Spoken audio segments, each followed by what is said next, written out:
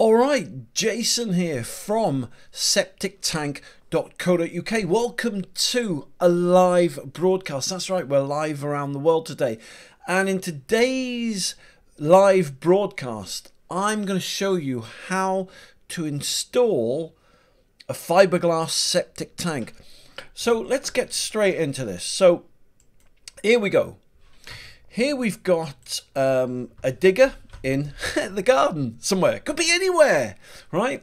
But the point is, the first thing that you need to do, right, with the digger is to dig a hole. So I must warn you first of all that the hole for these onion tanks is quite big. That's another name for a fiberglass septic tank, is an onion tank. So the first thing, as I said, is you need to dig a hole. So let's dig a hole. There you go. So that's the hole dug. Now, Onion tanks, as I said, can vary in size. So typically, man alive, they start off about 10, 11 feet in height. So we're just going to deal with one of those, okay? Um, because it just keeps everything really simple. So once you've dug the hole, the next thing to do is to lower or put the um, onion tank into the hole. So there we go. So there it is in the ground.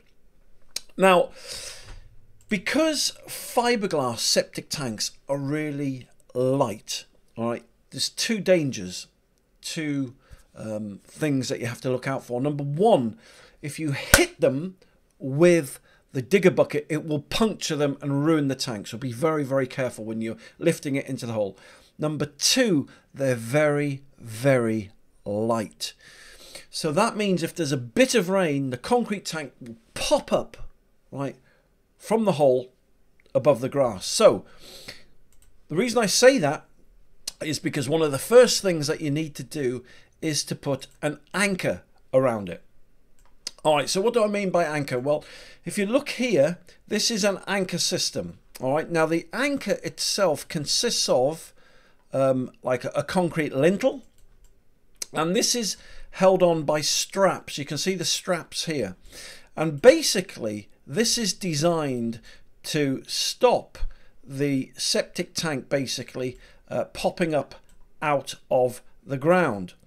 Because, as I said, if they pop up out of the ground, oh man, it can be one heck of a job. So you, you come back to site next morning, whoa, what's going on? The tank's on the lawn, right? So this anchor system stops it, anchors it down, stops it from rising up if there's a lot of water in the surrounding soil or it rains overnight. Typically, they'll cost you anywhere from three, four hundred pounds.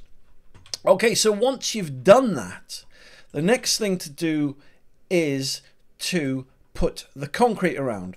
Now, the concrete is the most expensive bit about the concrete tank. People buy uh, about the fiberglass tanks. People buy fiberglass tanks because they're cheap. They think, oh, great, cheap tank. I'll get, I'll get a cheap job done. It doesn't work like that.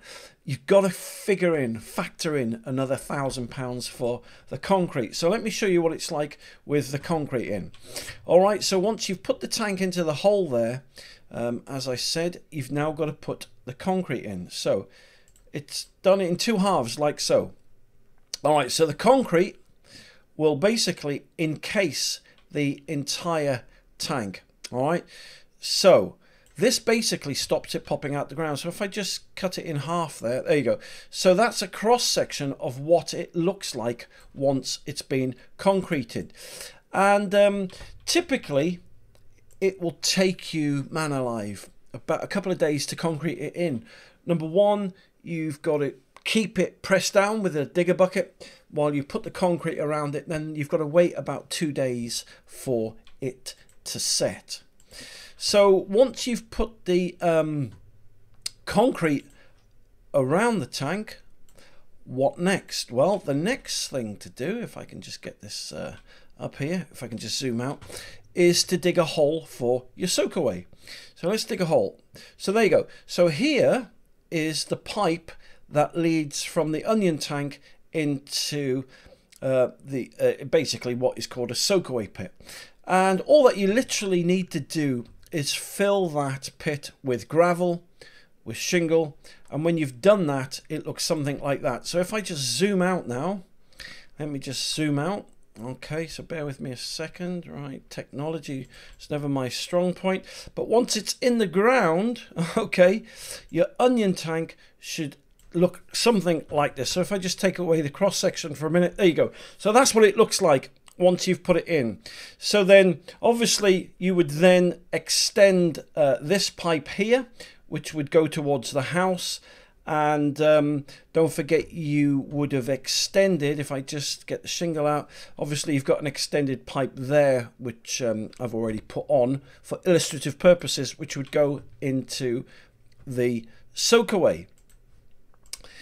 So there you have it. That's basically how to install a fiberglass septic tank it, typically it will cost you um, oh man alive so whatever the tank costs you, you've got to add at least a thousand pounds for the con uh, for the concrete. In this instance, I've shown you a soakaway pit. Nine times out of ten, it would be some kind of different drain drainage field, drainage field crates or herringbone system. But I've just tried to keep it really simple and in, in focus so you can see how to put the fiberglass tank in. So listen, thank you very much for taking the time to watch this video today. If you'd like to see more videos, then all you need to do is go to Septic Tank TV on Google. You'll see more free videos like this. Or visit my actual website, which is septictank.co.uk. Again, you'll see more free videos like this. So listen, thank you very much for taking the time to watch this video today. You take care, and I'll speak to you soon.